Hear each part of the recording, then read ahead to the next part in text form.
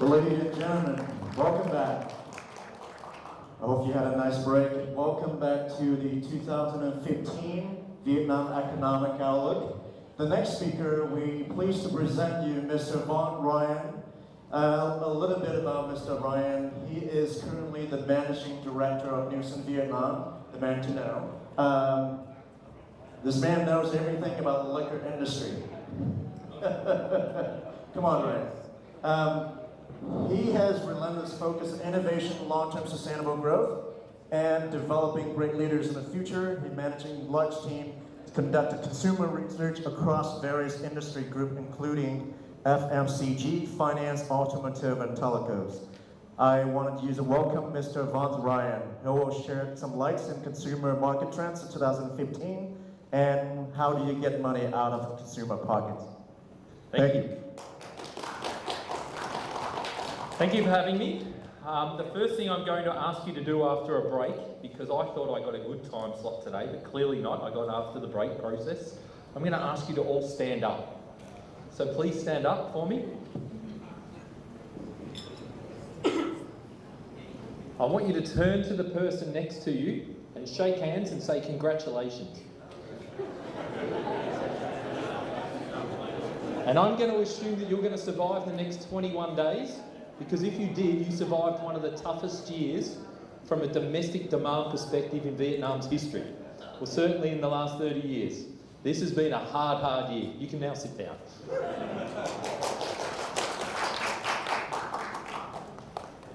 Fortunately, I get the opportunity to present to many clients. And when I talk to them about consumers and I talk to them about the current economic environment and the current market, What's very clear is that 2014 has been a really difficult year for us.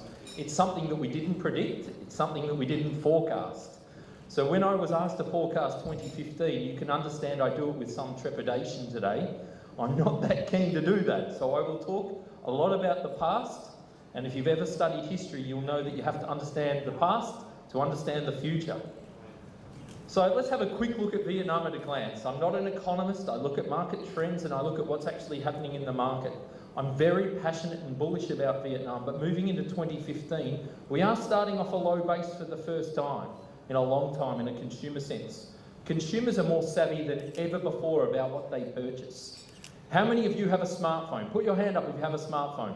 Yeah? We all have phones, all right? You're a CEO, you should have more than a smartphone. Two. Two? We, you must be Vietnamese, the only Vietnamese person in the room, because the average Vietnamese man has two phones, right? The average woman has 1.8. I'm not sure why the 0.2 difference, but we, on average, we buy a new mobile phone every eight months. Eight months. Why so quick? Yeah, that's if you're buying iPhones, that's a lot of money you're spending on a phone. That may be why the consumer situation is the way it is today. If you actually have a look at this market right now, we're running a two-stream economy, and I'm not here to talk about the World Bank. I see a bit later on, and some of the, the other people that are more experts in the financial situation than I am. But what I can tell you is that domestic demand is very low right now. And throughout 2014, we experienced decline in FMCG sales for the first time in Nielsen's recorded history in Vietnam, which is 21 years. So for 21 years, we've been experiencing nice double-digit growth until now you can see that inflation is moderately low at 4.5%. Yes, exports are doing very well, but we're seeing such sluggish growth when it comes to our GDP. If we actually compare this to some of the other markets, and this is a chart that I present to my regional boss. So if you want to steal it, you're more than welcome to do so.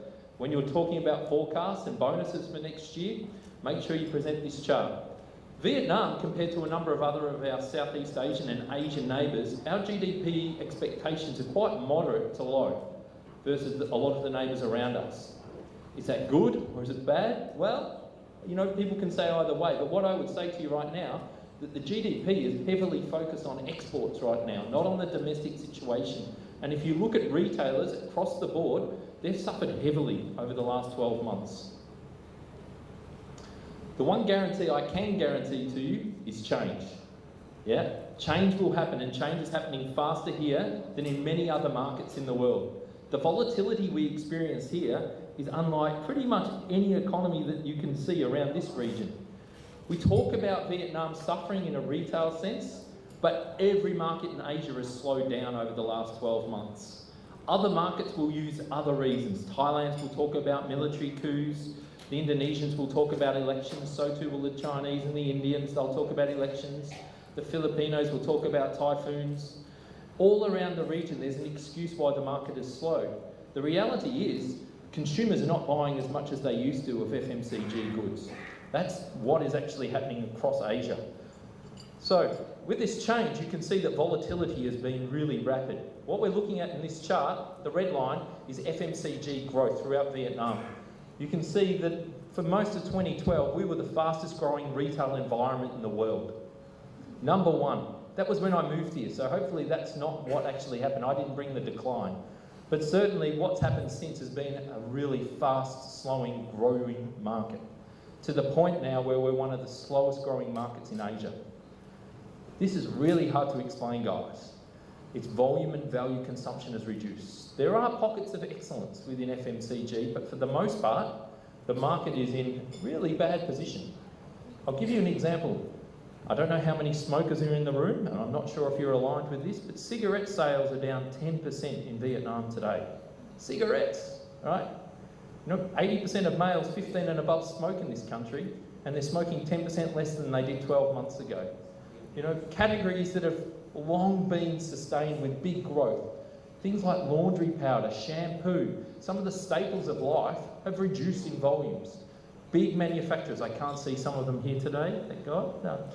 Some of them like Unilever, Procter & Gamble are experiencing decline for the first time in their history in Vietnam. This is a big deal, guys. These are big employers. How this impacts the future is going to be very interesting. Come Tet, I'm not sure all of these companies are going to pay a bonus. That's further going to actually impact consumers' ability to buy stuff. And if that happens, we could expect another tough year in front of us. This market is not as simple as total nationwide. I'm sure you all know this. I get asked to talk about Vietnam and I say this is many countries within a country. This is many situations within a, a market. You know, we know the differences between Ho Chi, Ho Chi Minh City and Hanoi. But in Ho Chi Minh City, the market is completely different to what we're seeing in Hanoi right now. Hanoi is suffering a lot worse than in Ho Chi Minh City. Modern trade is growing a lot faster in Ho Chi Minh City. Traditional trade is still very strong in Hanoi. You know, this is the consumers are very different as well. In Ho Chi Minh City, there's no loyalty. So I'm not sure how many of you are Saigonese in the room. You're probably the sort of friend I want to shake hands with and meet for five minutes, but I don't want to be a long-term friend of yours. In Hanoi, you won't talk to me for two years, but once I become friends with you, I have you for friend for life. They're very loyal, the Hanoians, but take a long time to win. If you run a marketing campaign in Hanoi, you have to plan for two years. If you run a marketing campaign in Ho Chi Minh City, you have to plan for two days. It has to be quick, yeah? You have to recognise these situations. I'm passionate about rural. I read and I look at most of your reports, and you all talk about 90 million people. Why do you compete in Ho Chi Minh City and Hanoi only? 20 million people. 68% of this population live in rural Vietnam.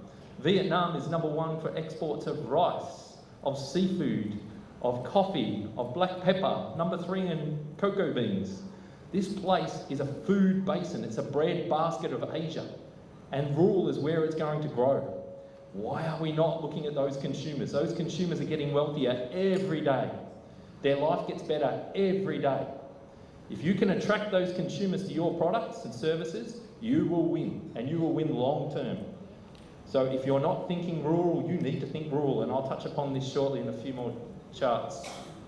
You know the differences between north and south, but central is also different. And Da Nang is a growing city.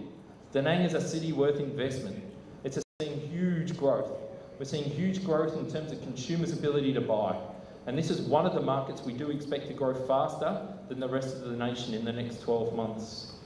We talk a lot about the affluence of markets, and I notice there's a few bankers here. The reality is, yes, most of the banks are talking to the affluence, but Vietnam has one of the fastest growing emerging middle classes in the world. You know, if you actually look at this emerging middle class, average incomes are growing faster than most other economies with the exception of Indonesia. Yeah, we're growing faster than India, we're growing faster than China in terms of our emerging middle class. For that reason, you have to make sure that you're talking to these consumers in these new formats, these new areas. this is not just about the affluent consumer. The affluent consumer is about 2% of the economy. If you want the rest, you actually have to speak to the masses, you have to market to the masses. These people rely upon word of mouth. Word of mouth is a critical component. And the biggest concern from consumers in Vietnam is a lack of trust. They don't trust any of us. If you think they do, they don't, right? They talk to friends all the time. And the biggest driver of trust, and I'm not saying this because you're here, Duke, is, big, is retailers. Retailers are the biggest driver of trust in this economy. If you can win the retailer over, you win the retailer's heart, you'll win the consumer over. It's a mixture of old versus new values. Back in 2008, we did a study which indicated that less than 7% of consumers were willing to buy made in Vietnam products. Today, it's over 35%. Made in Vietnam is a real valuable asset now. If you're not making in Vietnam, even as a multinational company, you have to consider it. You guys, I see some of you nodding your head. I bought some fruit today and I had it at work, and one of the ladies at work came up to me. She's in the back of the room and she said, Don't eat that, that's Chinese. All right? You might think that that's not a big deal, but to Vietnamese consumers it is. Yeah, it's a massive deal. Vietnamese consumers care where the product is made. Yeah, if it's made in the wrong country, your product will suffer. If your services come from the wrong country, your product will suffer. You have to make sure that made in Vietnam is becoming part of your agenda, or at least you're looking towards investing here.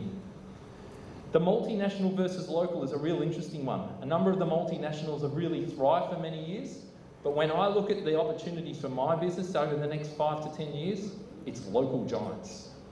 You know, it's some of these big local companies. It's Masan, it's Vinamilk. I don't know if you heard the other day, but Mondelez, the Kraft company, just bought Kinh Do, the biggest biscuit and pie company in Vietnam. The investment that's happening here from some of the local giants is fantastic. And they understand the consumers.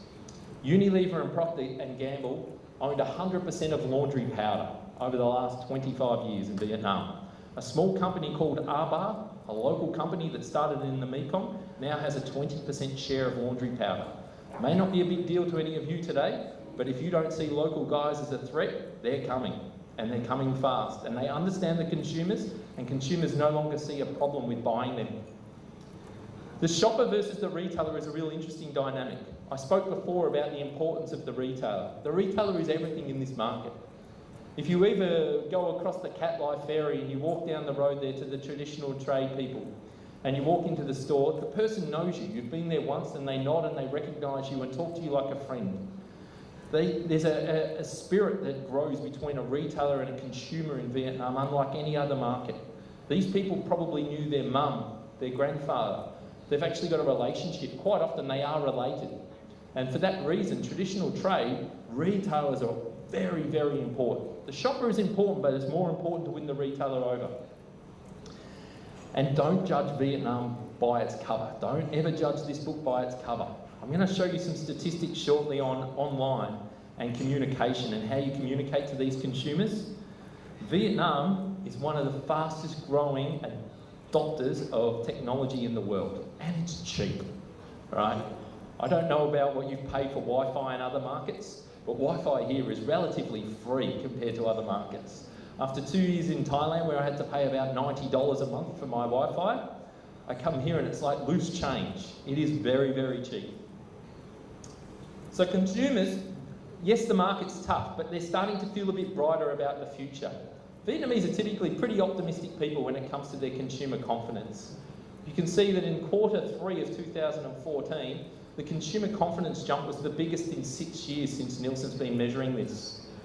And our primary concerns are health. Not just my health, but the health of my family and my children, particularly my children. But if you actually start to read some of the government reports, the government's very concerned about obesity amongst children, and so it should be. You know, the old measure, measurement of good motherhood was having a kid that was big or large. I wish my mum felt the same way about me. But the reality is, right now, obesity is starting to become a bit of a crisis. Kids are eating poorly at schools, and the government's recognising this more and more. The economy is our number two concern, and it's always in the top three. But interestingly, job security is growing all the time. We talk about job security not as in unemployment, but underemployment. Many consumers want more work. Yeah, particularly given over 60% of the population live in rural, 30% of them live off the land or they live off uh, farming. They don't have a regular job. They live off crop to crop and they want more work.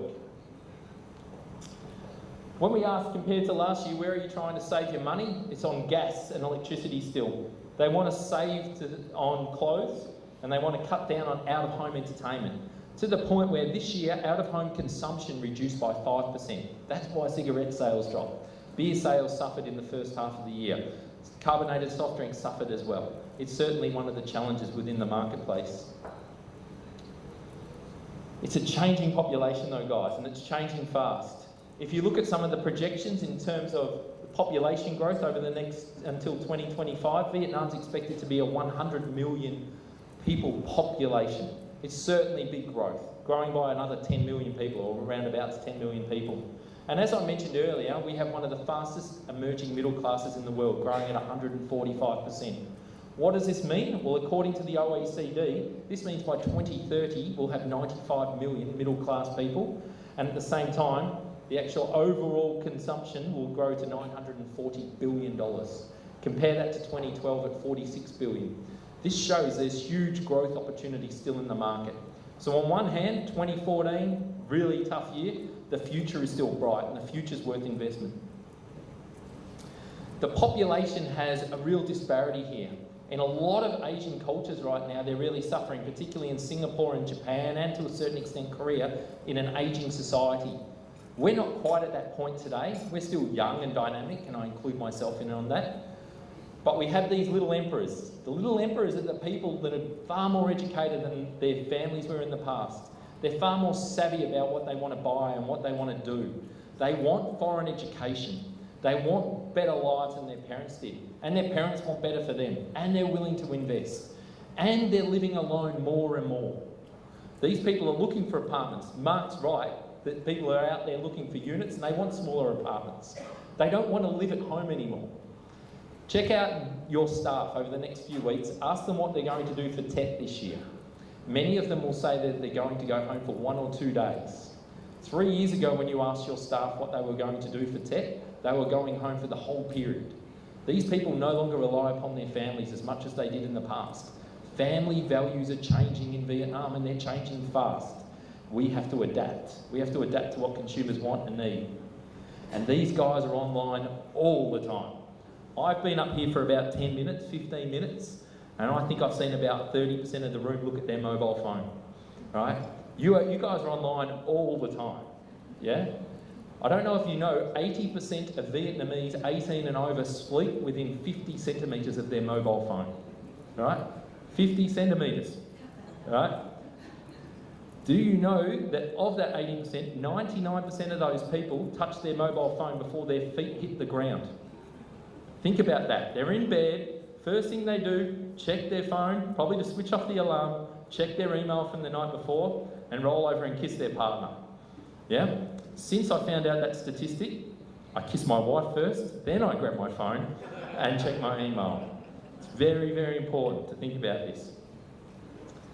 When you think about the actual overall ad spend and where people are going to spend and how they're going to communicate in the future, according to PwC, a report, we know that digital media is going to grow and it's going to grow fast.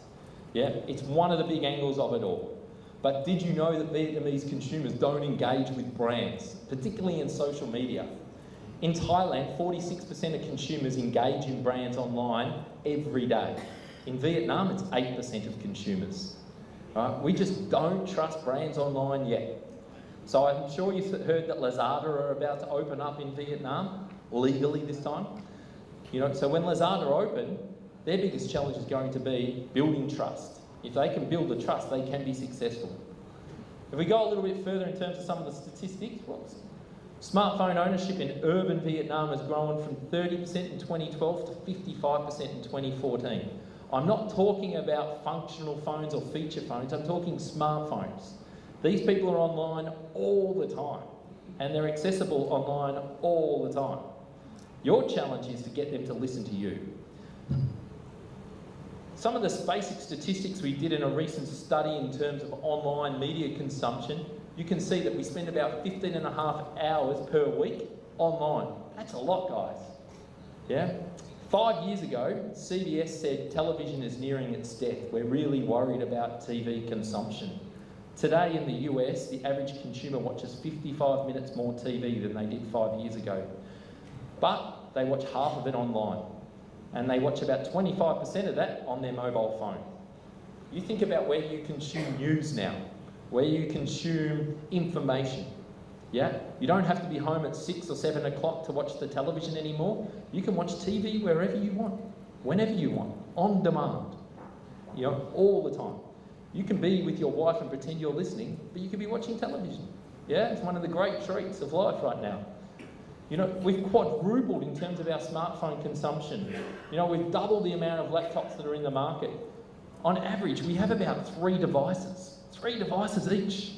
I'm sure you all have an iPad, an iPod, an iPhone, an iMac, everything i in your life. If you don't, you're probably a Samsung lover and you have a Samsung Galaxy this, Galaxy that, Galaxy everything else. Maybe in the next couple of years you might cha- change and you might have an Oppo, an Oppo X, an Oppo Y, an Oppo Z. All these new brands are appearing all the time, and there's something new out every day.